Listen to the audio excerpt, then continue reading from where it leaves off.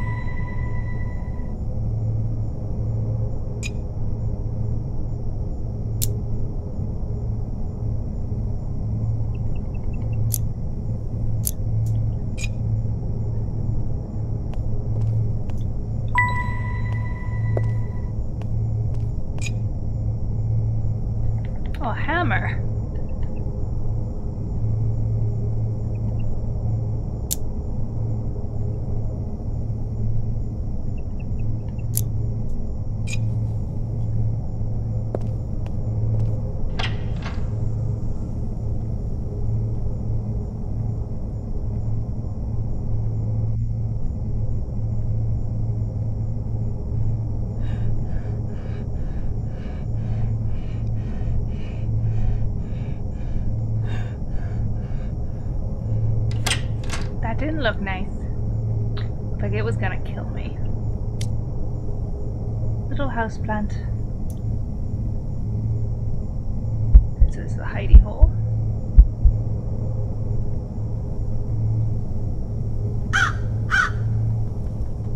Another hidey hole. Ooh, we're gonna have a lot of hidey holes.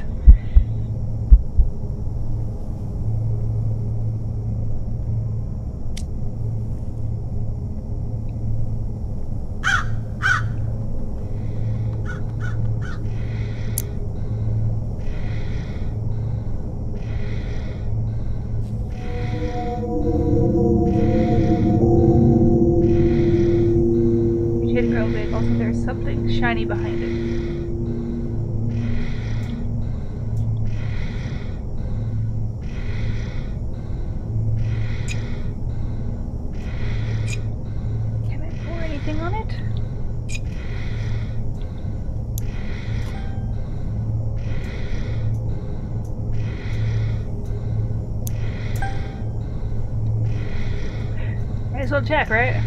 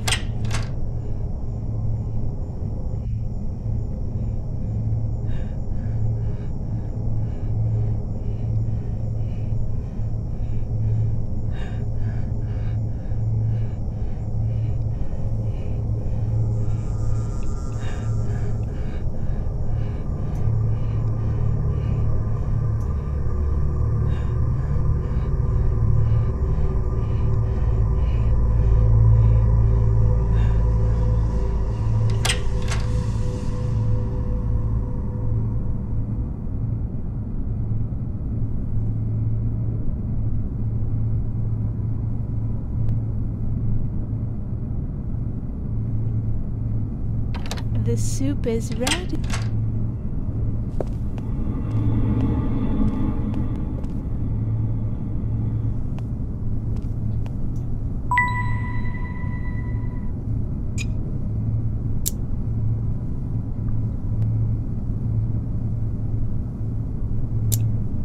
I might have finally got the solution to our little weed problem in the greenhouse.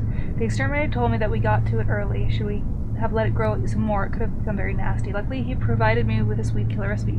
40 milliliters white vinegar, 30 milliliters of plain alcohol, a spoon of salt. If you can provide the re re reagents, I will make sure the greenhouse will be completely weed-free by tomorrow, Sir Baron. P.S. Do not mix the weed killer with any form of compost. The exterminator explicitly warned me of this. Okay.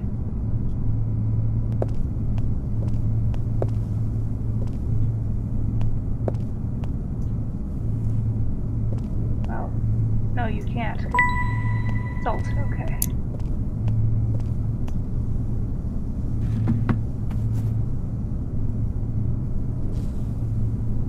Should I just sit down to eat soup? Why does that feel like it should kill me? Who, who's... really, sir? Why, why would we do this, sir?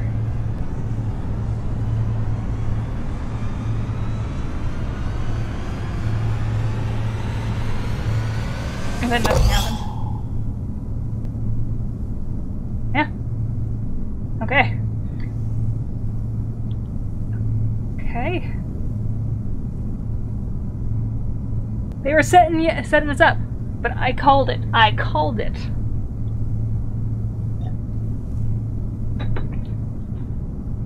It's definitely around here. Okay.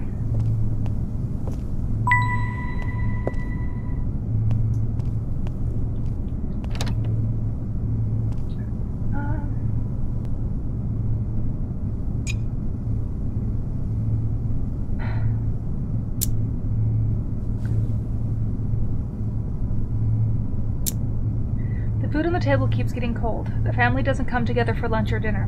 I have asked for the family to have lunch and dinner at the right times and kept everything ready on the dinner table, but more often than not I end up eating alone. Once I managed to get the kids at the table at a time for lunch, but Mrs. Smith requested to have her food served in her room, and Mr. Smith locked himself in his office on the pretense of work. As I neared his office, the smell of tobacco permeated the air. He had recently lapsed into smoking.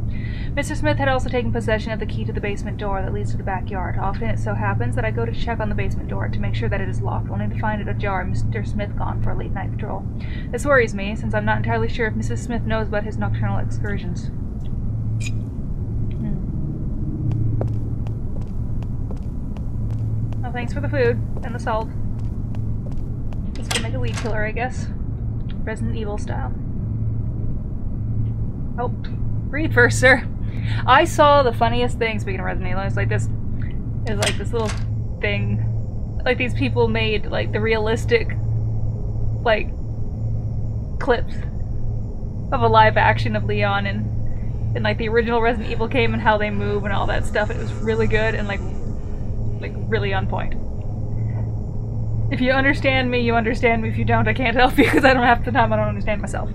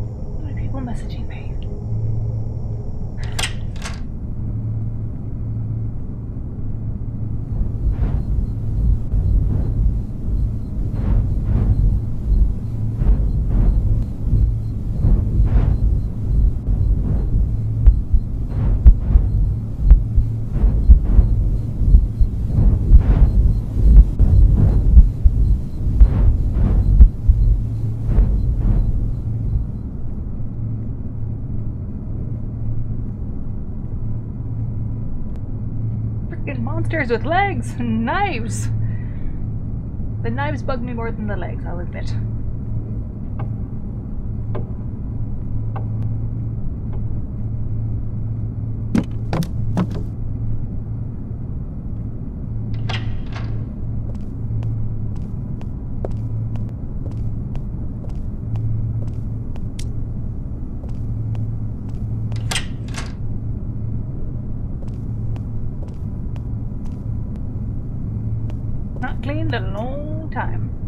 Your basketball league.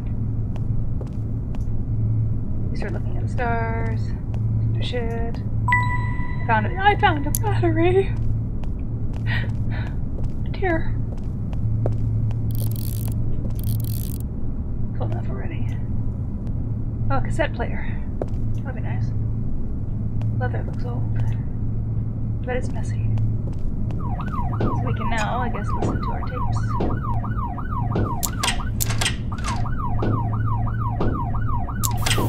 Well, Carlos, would you like to tell me why you're here? How can I help? Well, I'm Carlos. I moved to England for work about eight months ago to support my wife and son back in Mexico. There are not many jobs back there, you know, so I decided to come here to look for some opportunities. Before coming here, I decided to take the family to visit some local historical sites. We went to one that we had never heard of before. Well, that's very good, and I hope your family's doing well now that you have a steady job. However, I still don't understand why you need psychiatric help. I received your file a few days ago and found your case quite uh, interesting. I feel changed ever since that visit. I felt it for the first time about a week after our trip. During our visit, I came across a strange radial sign. It looked like some ancient place for rituals or Suddenly, I noticed that my nose was bleeding and blood dripped onto the altar. When I touched my nose, it came away dark and sticky. Ever since that day, I've been hearing voices of people wailing, asking for help. The voice of one woman stands out above the others. She keeps on saying, Find me a new home.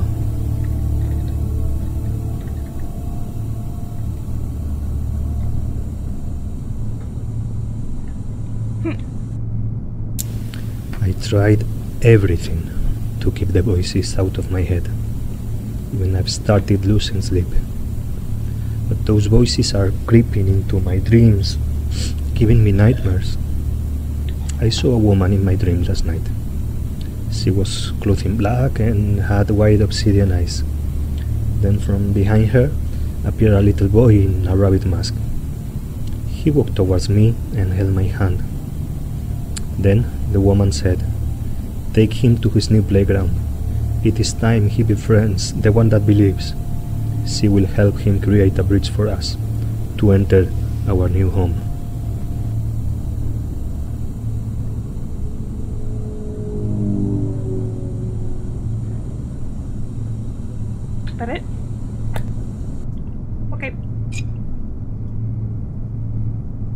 He was just down there smoking I'm, while I'm listening to that.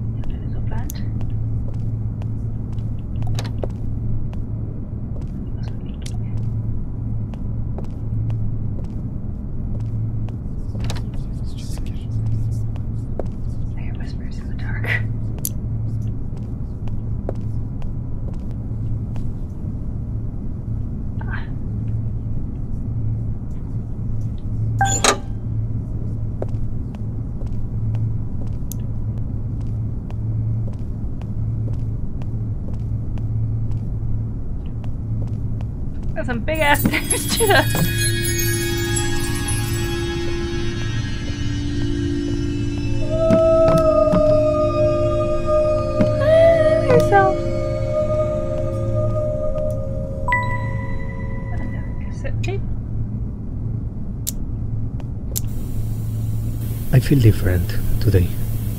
Strange how time passes so quickly. You get to know good people, and before you know it, you are parting ways over unforeseen circumstances. Alas, such is life, Mr. Rodriguez. Alright, so I've been looking into the incident you related. I recall you saying that you were visiting a hidden room that resembled a shrine or altar for arcane rituals and. Your, your nose? Oh no no no no no no! There is blood. Yeah, it's coming out of your nose. No no no no no! It's happening. It's happening again. This can't be happening again. Oh Oh, no! it's happening again. They are here. I can feel them. Dios mío! I've got to get out. Wait, come back! We're not done yet! Carlos!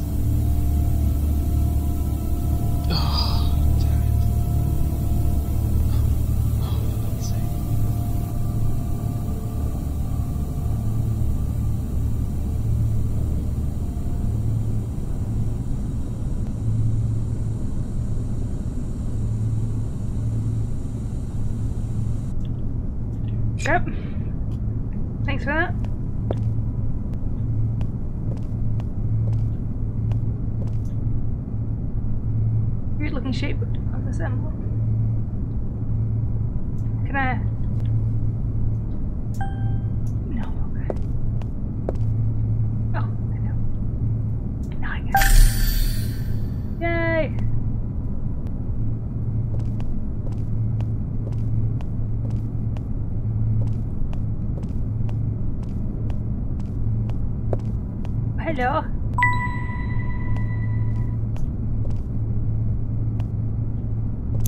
Mostly empty.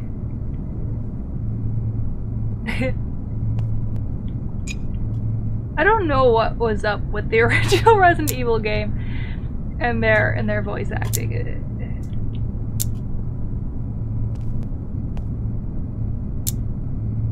Time and ancients.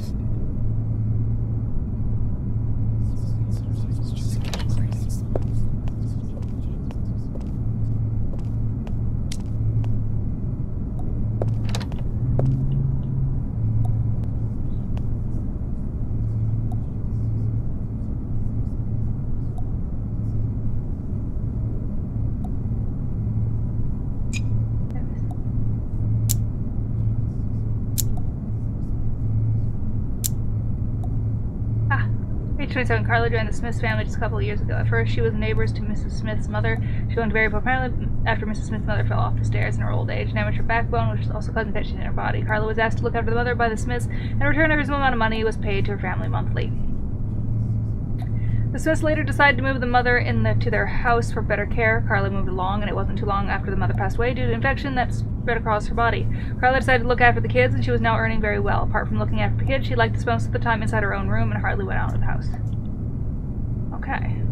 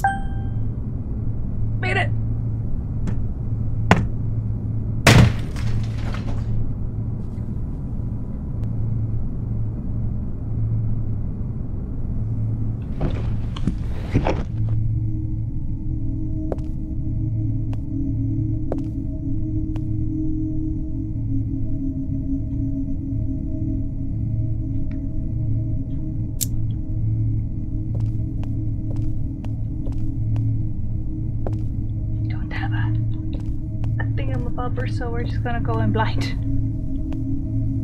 Please.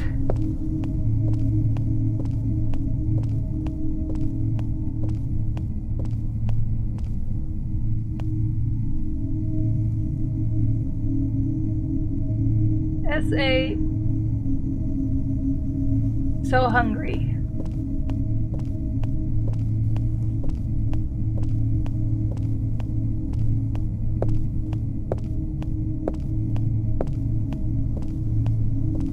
Okay, it's holding out the flashlight and I don't have any.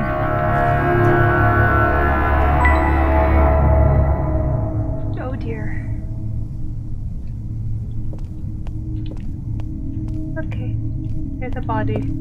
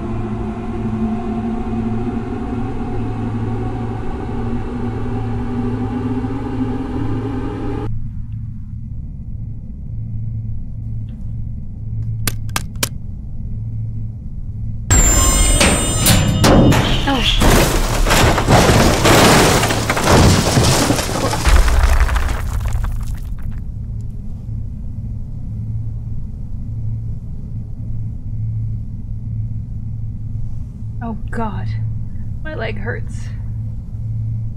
Could you stop falling, sir? The key with a tag inside. It reads backyard.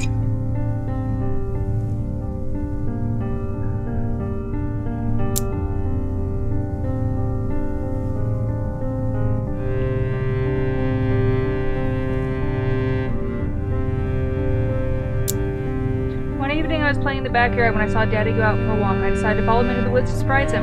I followed him through the birches, birches until we reached the graveyard. It was getting dark. It was getting dark and I felt scared, so I started to turn back to go home. Then I stopped. Daddy was stooped over a grave. I realized he was digging it up. A chill ran down my spine as I saw him take something from the grave. It looked like an arm. He brought it up to his mouth and started tearing into it. I was petrified. In my panic, I stepped on a branch. He heard me.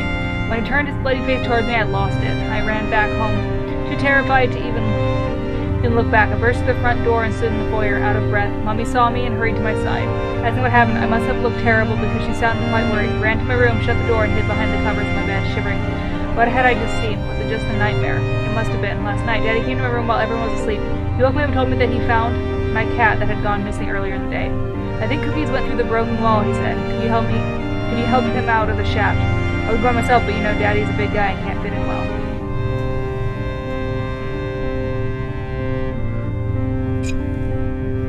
Dad put him in there.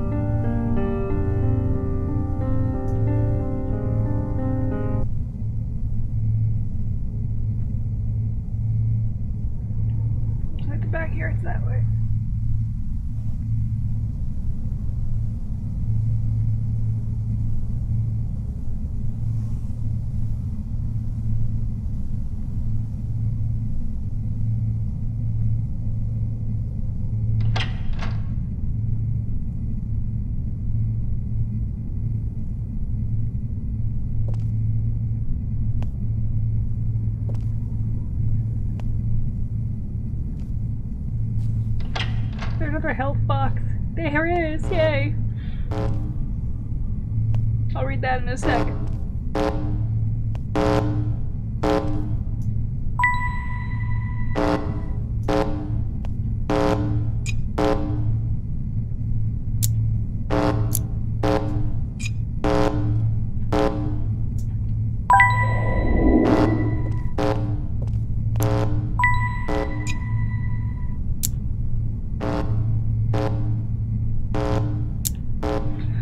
Was in the basement examining the oil barrels when I discovered something strange. There was some black, sticky, goo-like substance behind the barrels. It wasn't oil, it smelled terrible.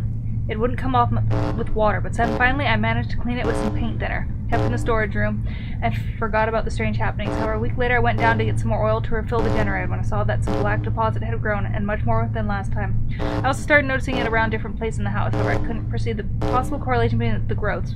Before I could alert the Smiths, Smith, Mr. Smith fell ill. His illness, I suspect, is due to the peculiar infestation. I didn't wish to disturb Mrs. Smith as she cared of Mr. Smith every day. When she wasn't by his side, she would be either painting in the art room or watering the plants in the greenhouse. However, I felt this was important finally found a moment to inform her of the situation and my suspicions regarding its connection to Mr. Smith's ailment. I also warned the kids to stay away from such growth. I kept on removing the growth however I could, but they would always grow back more than before. It felt as if I was trying to take over the it was trying to take over the whole house.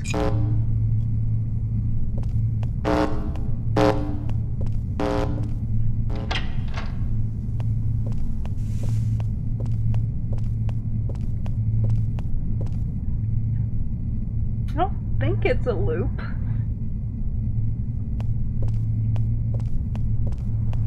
What's it? Ancient symbol. I didn't see it when I was first here.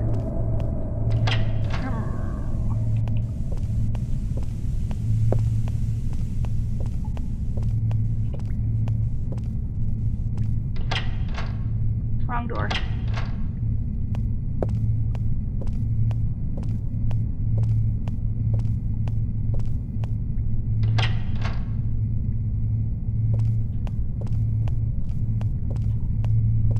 I don't think this is the right room. No, it's not.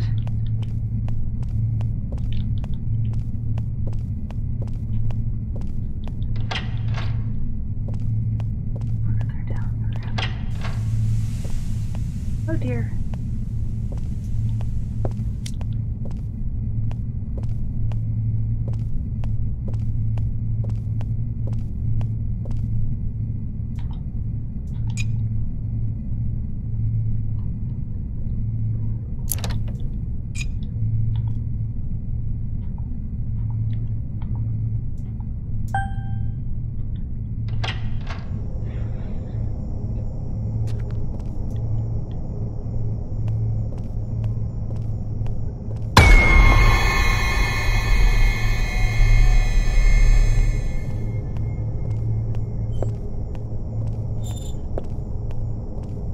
I got spooked.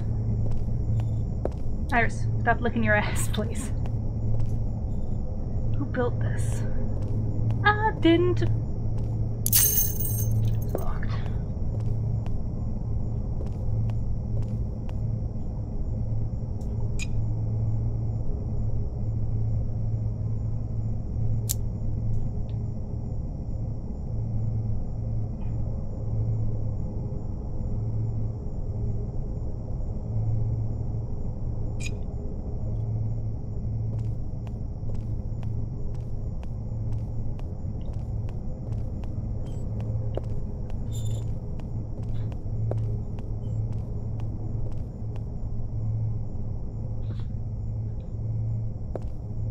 I don't want to go back. It's like it's scary. I don't wanna. Okay. Sure, we'll go with that, buddy.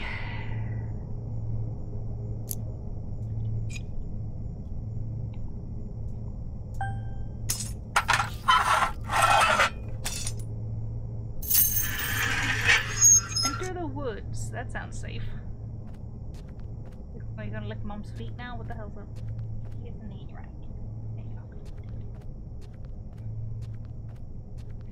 Mom, we don't stay up this late. Mom, go to bed, mom. You I haven't worked in a few days, babe. Yeah, I know. Is this scarf from the woman I saw? Shit. Yeah, probably. It's brutally ripped open.